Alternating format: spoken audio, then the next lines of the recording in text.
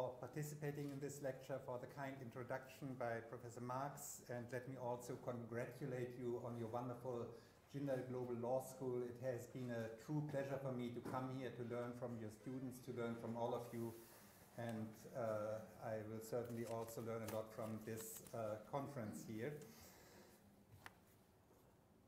Uh, the subject of our conference is multilateralism in the era of mega regionals, new directions in the global trading system, and the purpose of my lecture, brief lecture, uh, is uh, to focus on the impact of mega regionals on citizens and the WTO legal system. Oh la. Uh, Anita, can you help me to so I prepared four slides in order to help you under, to understand what I say, and I was given a time frame from of 25 minutes, so I think I will respect the time frame. So uh, the first slide is about what is what are we talking about? What is the global trading system? And I think here a few words are useful because people define the global trading system in very diverse ways. And since uh, England unilaterally liberalized its corn laws in 1846, and since the first liberal trade agreement between England and France in 1860, the liberal world trading system always evolved in a dialectic manner and in, often in a confrontational manner.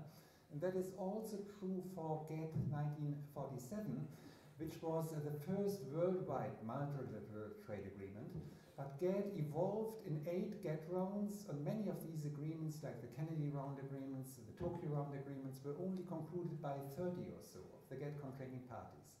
There were hundreds of uh, voluntary export restraints, plurilateral trade agreements like the multi-fiber agreement, textiles agreement, and all this fragmented legal regime uh, of uh, the world trading system was integrated for the first time in human history in 1994 with the WTO agreement. And that was a political miracle. I was responsible for the uh, I was secretary to, for the Uruguay round on dispute settlement, which elaborated the dispute settlement understanding, and no, nobody in the GATT uh, when the Uruguay round started in 1986, would have dreamt of this outcome.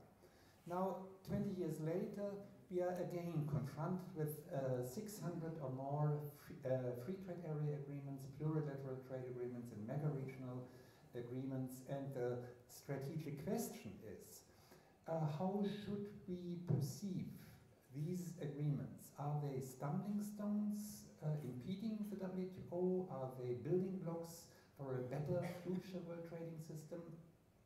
How should we maintain the and promote the overall legal coherence of this fragmented legal system?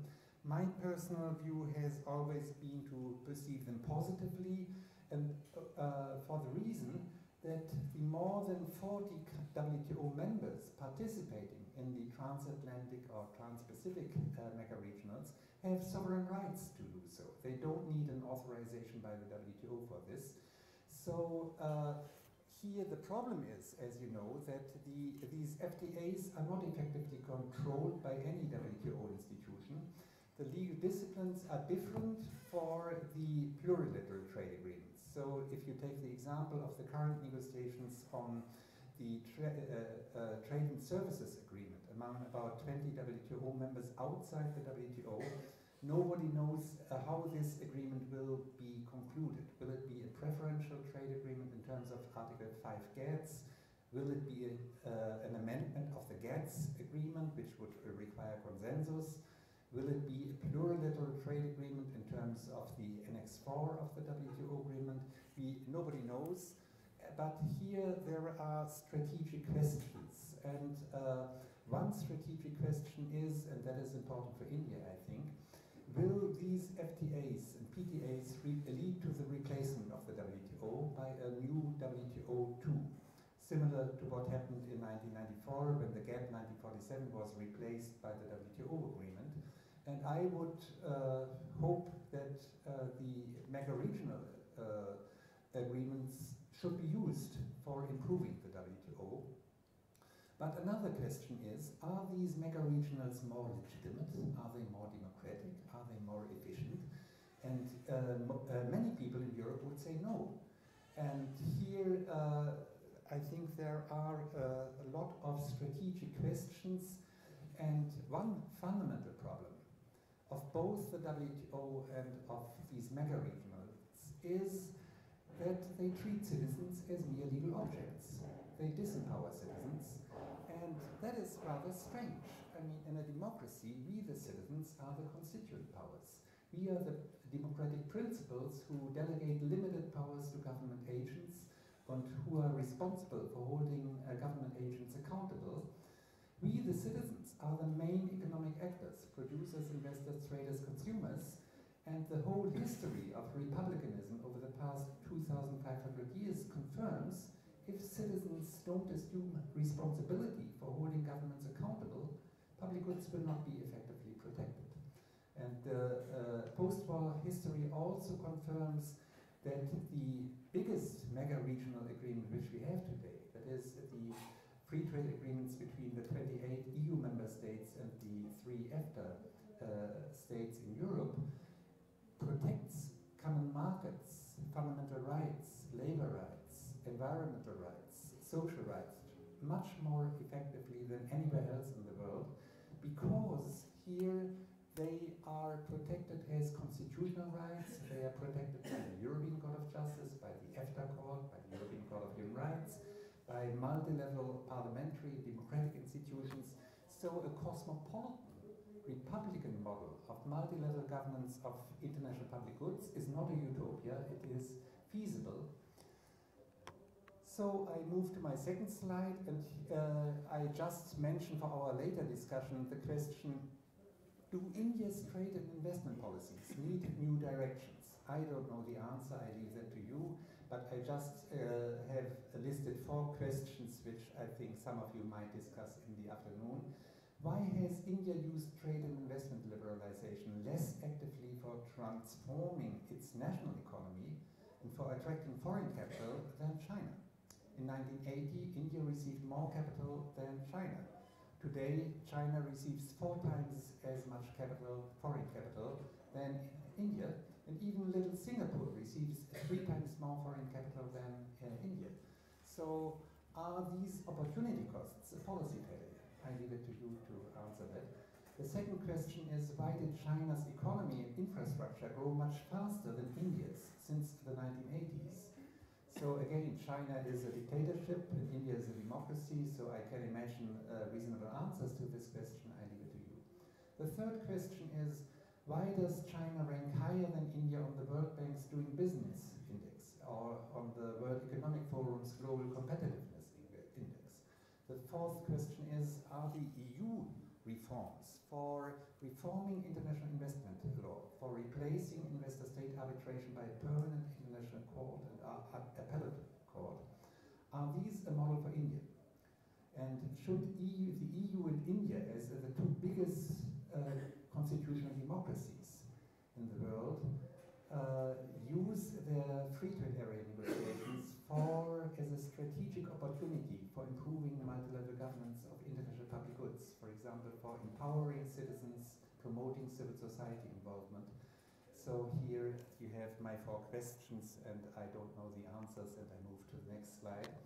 And the next slide is about the impact of mega-regionals on the methodology of trade regulation.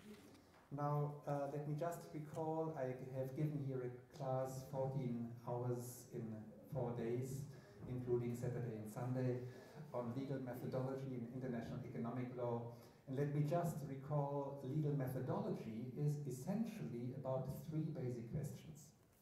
The first question is what is the legitimate role of law as an instrument of social regulation? The second question is how to design a legitimate legal system as defined by uh, Professor Hart in his famous book, for example, primary rules of conduct and coherent secondary rules of recognition, change, and adjudication. And the third question, and the most difficult question, I think, is how to transform the law in the books into a legitimate law in action. That is, how to promote a legal culture which institutionalizes public reason, which protects the rights, the human rights of citizens, which protects human welfare rather than power politics and interest group politics. So if we ask these three basic questions of legal methodology for the WTO legal system, the answers are rather disturbing and the answers are rather uh, controversial. So as you know, what is the legitimate function of WTO rules? Uh, here we have this ideology cherished by WTO diplomats of member-driven governments, and in Europe at least, we increasingly criticize this as power politics.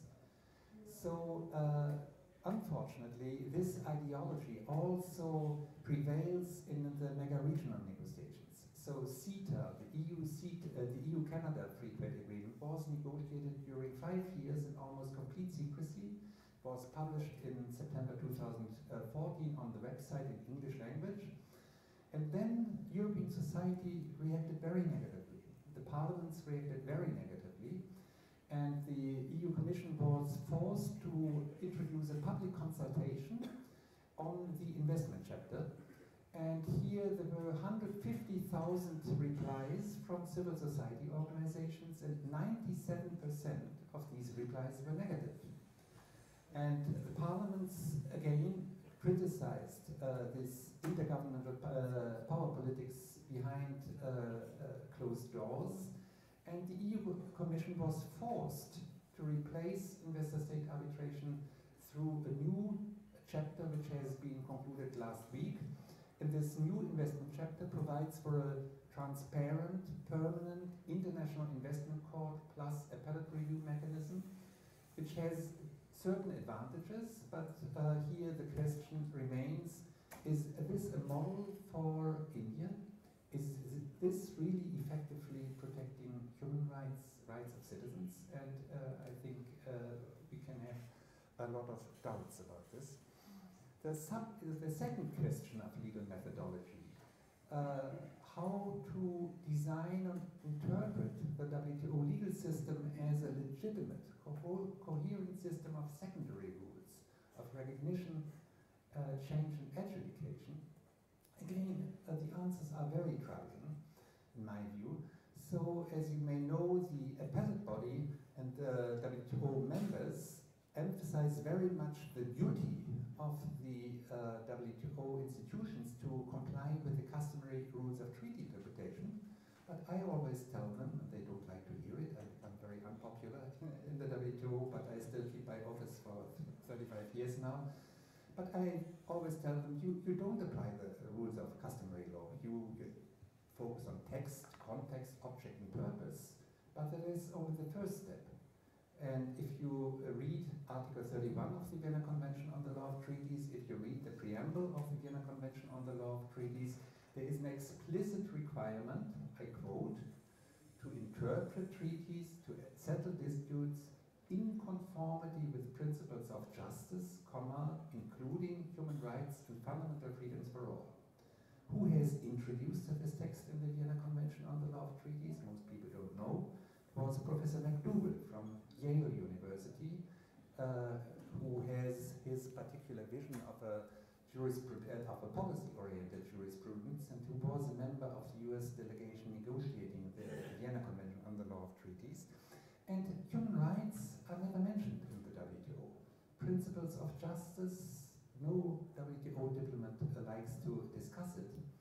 Sustainable development is an explicit objective of the WTO, but how to construe it?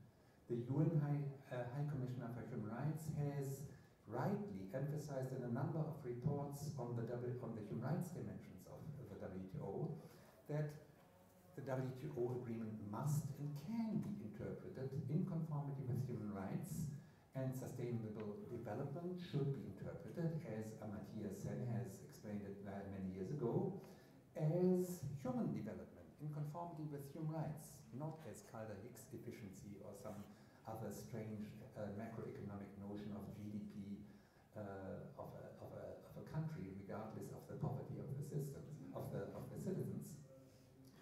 So another example which I mentioned in the slide here is that diplomats, I have been a diplomat for many years, uh, uh representing Germany in the UN and, and, and the European Union. But I think many diplomats don't like to be held accountable in domestic courts and in domestic parliaments. It can be uh, quite, quite demanding. And if you look at the WTO, then the rules on state responsibility are extremely limited by the diplomats. So you cannot ask for reparation of injury in the WTO, even though the customary rules on state responsibility provide for reparation of injury in case of violations.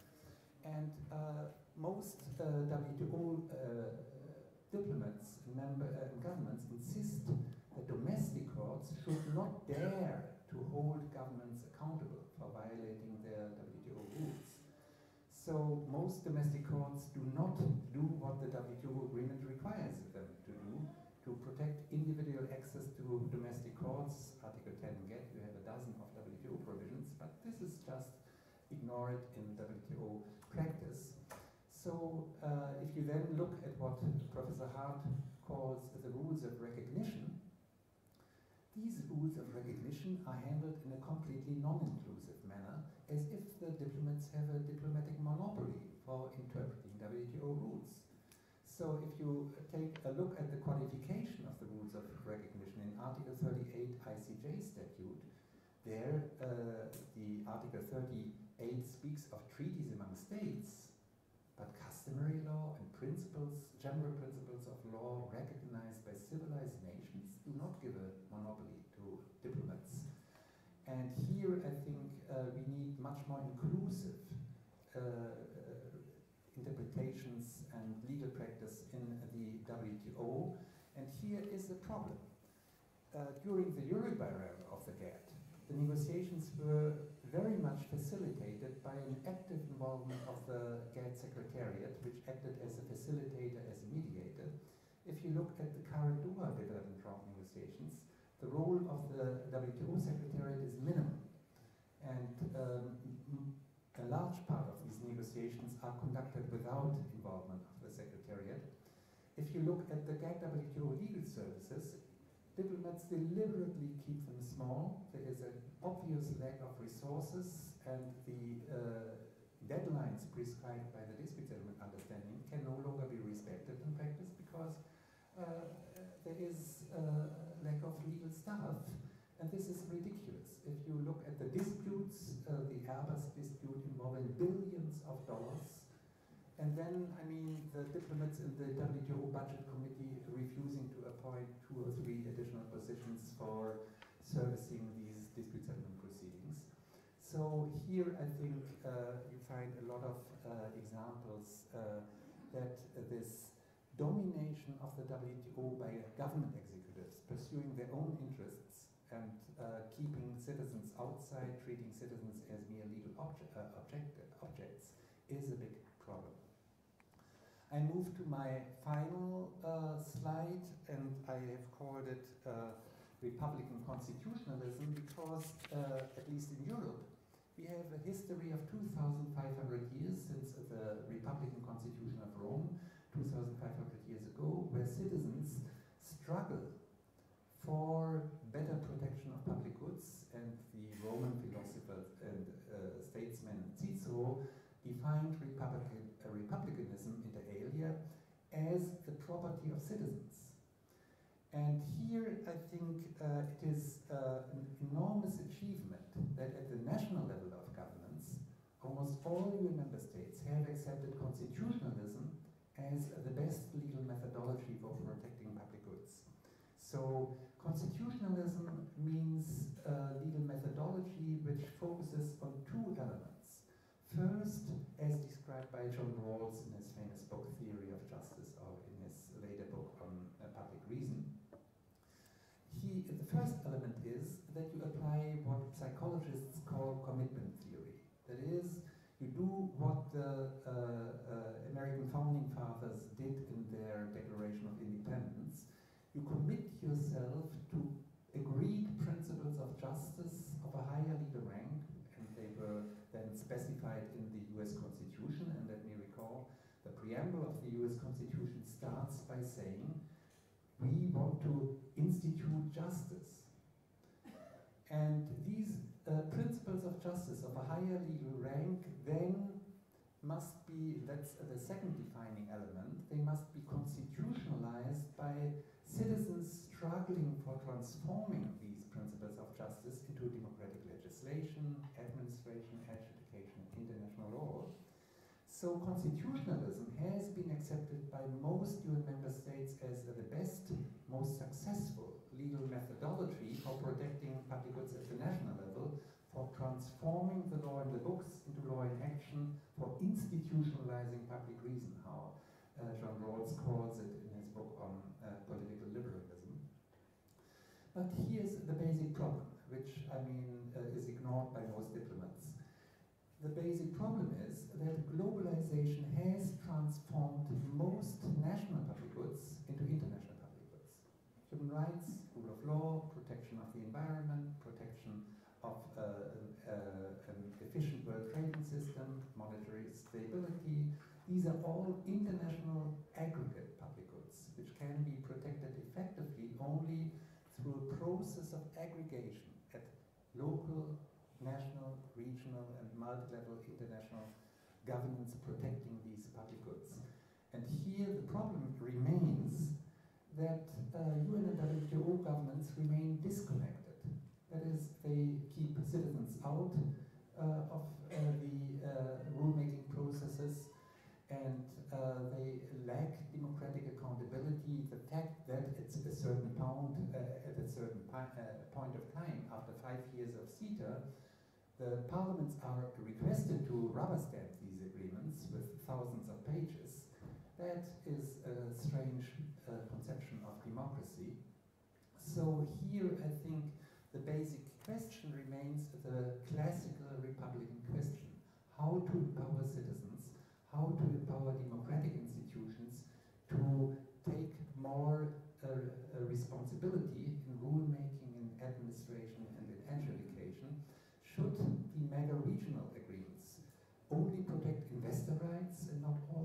all other human rights and labor rights, environmental rights, human right to health, and so far? we are all, I mean, uh, too much dominated by government executives and interest groups, and I think unless we the citizens assume more responsibility, uh, public goods will continue to be disregarded. So by way of conclusion, uh, I think we need a paradigm change in international law. That is, as you all know, international law evolved as an international law among sovereign states, and of course the UN Charter emphasizes rightly the principle of sovereign equality of states that will always remain a foundation stone of international law. But decolonization, the universal uh, recognition of human rights, have transformed this international law of states into a law among peoples. But unfortunately, John Rawls, in his famous book on the law of peoples, he interprets this law of people from an American hegemonic perspective, which is fundamentally different from the UN human rights commitments to protecting not only civil and political, but also economic and social rights. So we have to go beyond, and we have to uh, make UN human rights law, which is a cosmopolitan regime, but which is not very effective, as you know. It does not protect judicial remedies. It is ignored in WTO law. It is ignored in many other areas of international relations. It is effectively protected in regional human rights law, for example, in Europe and in European economic law. So I think the challenge really is to promote cosmopolitan conceptions and republican conceptions of multi-level governance of international public goods. If you make an empirical study, that was the main conclusion of my book on international economic law in the 21st century, if you look at cosmopolitan legal regimes like international commercial law, labor law, international investment law, intellectual property law, human rights law, of course, human health law, uh, arguably, and other areas where citizens are empowered to enforce international rules in domestic courts, to hold governments accountable for abuses of power politics, to hold companies accountable for abuses of private power. These cosmopolitan regimes have generally been generally been much more effective than Westphalian power politics in the UN and in the WTO. So my last word, and I think I'm still within the time. So uh, I think uh, India and the European Union, as the biggest two constitutional democracies, uh, should exercise leadership and use their free trade area uh, negotiations for promoting civil society support. And this cannot come from any other country in Asia. China is not a spite of its enormous economic progress. And unless the European Union and India don't accept this challenge of leadership, unfortunately, it will not come from the United States, I think. And uh, so I think it is up to us, we the citizens, we have an enormous responsibility to challenge the diplomats and their power politics. Everybody who knows public choice theory understands why diplomats pursue their rational egoism like every, everybody else and very often act in an unreasonable manner as explained by David Kahneman in his very entertaining book about thinking fast and slow. It's a wonderful